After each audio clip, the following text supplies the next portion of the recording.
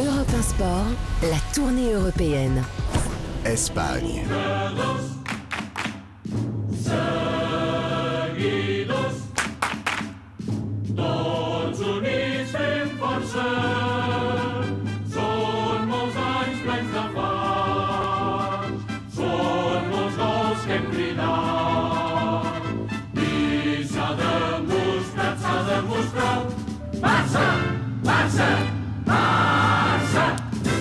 Liga avec le Barça en tête. Juan José Dorado, bonsoir.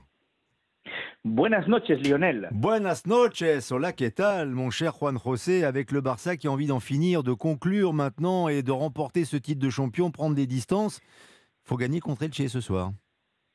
Il faut gagner contre Elche ce soir et théoriquement, ça devrait être facile puisque vous avez le Barça qui joue à l'extérieur, mais le Barça le premier. C'est l'une des meilleures attaques du championnat espagnol, 49 buts, et la meilleure défense. Et en face, qu'est-ce qu'ils ont? Bah, Ils ont Elche qui est à son quatrième entraîneur cette saison, qui sont les derniers du championnat espagnol, qui ont la pire des défenses du championnat espagnol. Ils ont déjà encaissé 51 buts en 26 matchs et c'est la pire attaque du championnat espagnol avec 19. Donc vous voyez, c'est un match déséquilibré, mais c'est un match essentiel parce que le Barça veut en finir, vous l'avez dit. Le Barça a besoin d'un titre assez rapidement pour faire oublier que ces dernières semaines, on parle plutôt de ses déboires hors le terrain de jeu et eux, ils ont envie de gagner un titre et qu'on parle de la qualité de leur jeu si son jeu a de la qualité.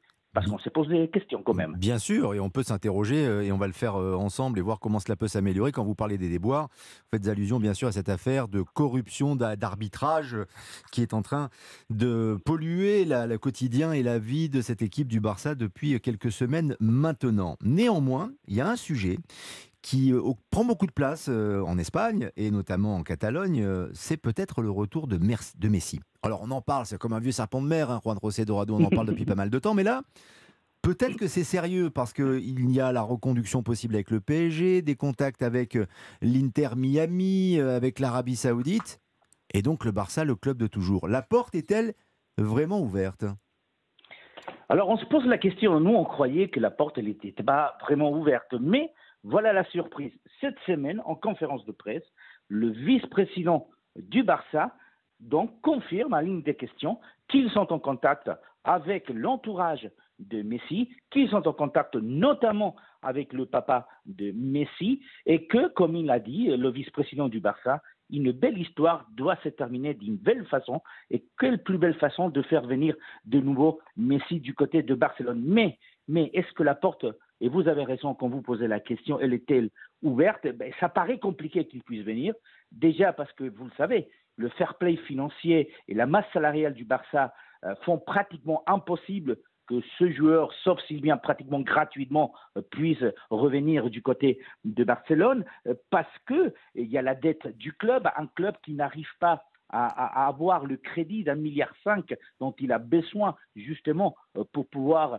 euh, refaire son stade à, neuf, et aussi un club qui, comme vous l'avez signalé, est emmêlé dans cette histoire avec l'UEFA euh, qui pourrait, le cas échéant, le laisser en dehors de l'Europe. Vous imaginez Messi venir venir du côté de Barcelone si le Barça est mis des côtés dans la compétition européenne.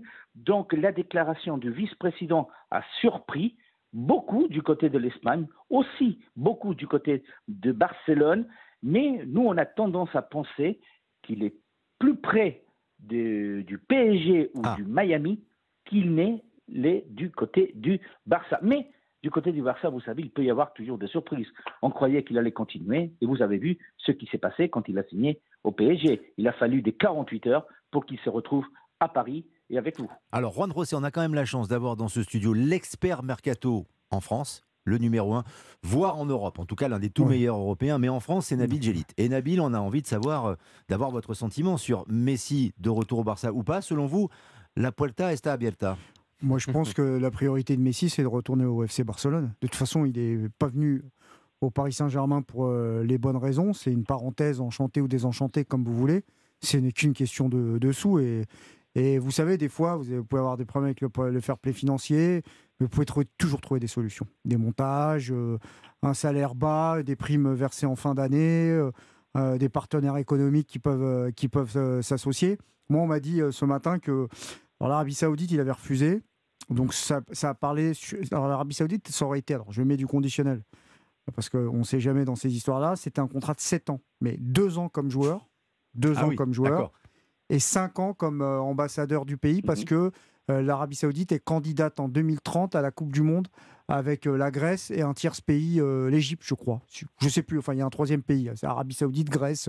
Il y a, il y a- il y a trois pays qui, euh, qui, qui Qui sont s'associent pour- donc qui sont candidats. Et donc, du coup, il, il souhaitait profiter de son, de son image aussi euh, à ce dessin.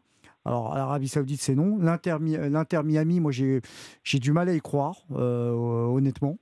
Parce que quand on voit les solutions financières qui sont pensées pour le payer là-bas, c'est en gros, toutes les euh, franchises doivent donner un petit peu d'argent parce que ça va profiter à tout le monde de le voir venir. Je ne sais pas si, euh, si, on, si on en est à ce degré-là du côté des autres euh, des franchises en MLS. Non, non, mais l'histoire, l'histoire, elle est claire.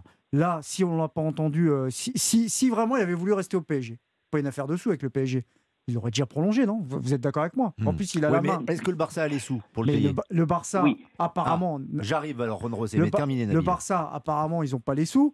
Mais s'ils commencent à parler comme ça, c'est qu'ils ont une idée derrière, sur la tête, derrière la tête. Donc il y a forcément un plan. Et il y a les sous et les sous. Il y a différentes manières de payer. Où le Barça va trouver les pesetas pour Messi alors, euh, Juan José? Bah, Je, je ne sais pas où est-ce qu'il va les trouver. Ce qu'on sait, c'est qu'il ne pourrait pas les trouver en, ut- en utilisant ce qu'ils ont utilisé l'été dernier, les fameux, les leviers, puisque euh, Javier Temas a déjà prévenu que cette fois-ci, la Liga va être très attentif aux leviers qui pourraient utiliser le Barça. Mais le vice-président du Barça a laissé planer quand même cette idée qu'en quoi le Barça est toujours capable, et c'est sa déclaration, de trouver des solutions innovantes. Donc derrière Voilà. ces solutions innovantes, il y a peut-être quelques pesetas, comme vous dites. Et le départ de certains joueurs, en effet. Euh, on parle beaucoup d'Ansu Fati qui pourrait quitter Barcelone. Est-ce que vous avez aussi cette euh, rumeur ou cette information, Juan José Dorado?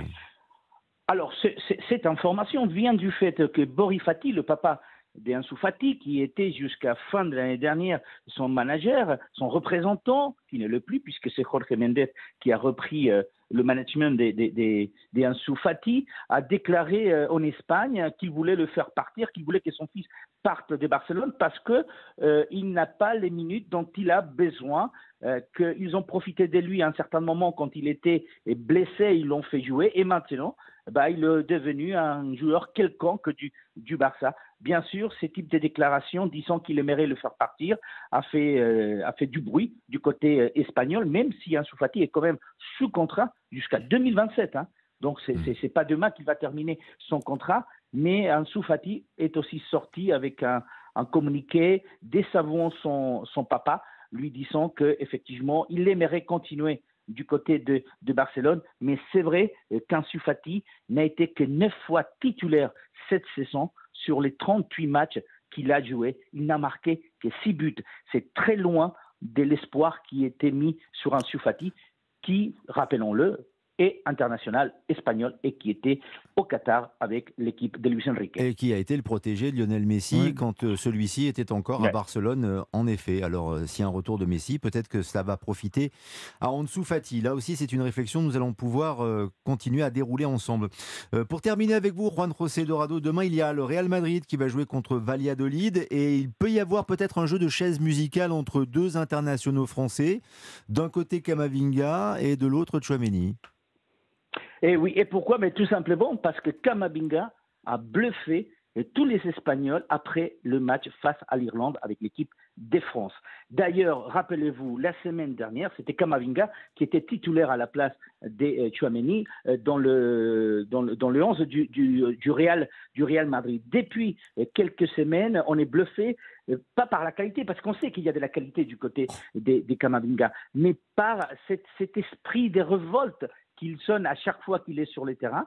Et donc, Ancelotti pourrait dès demain faire jouer à nouveau à la place de Chouameni euh, Kamavinga, sachant qu'il y a un joueur français euh, qui est blessé, qui est Mendy, et qui aurait pu effectivement euh, occuper la place de Mendy, mais apparemment Kamavinga va prendre la place de Chouameni. Et donc on commence à se demander si on a effectivement euh, raison de mettre Kamavinga à la tête de cette équipe du Real Madrid, parce que depuis quelques semaines, Chouameni déçoit un tout petit peu, mais surtout c'est la prestation chez vous avec la France euh, qui est en train de convaincre tous les Espagnols que quand on a misé sur Camavinga, on a bien fait. Une belle concurrence en tout cas au Real Madrid et pourquoi pas aussi en équipe de France. Merci pour toutes ces informations Juan José Dorado. À très vite sur l'antenne d'Europe 1 pour parler de football espagnol.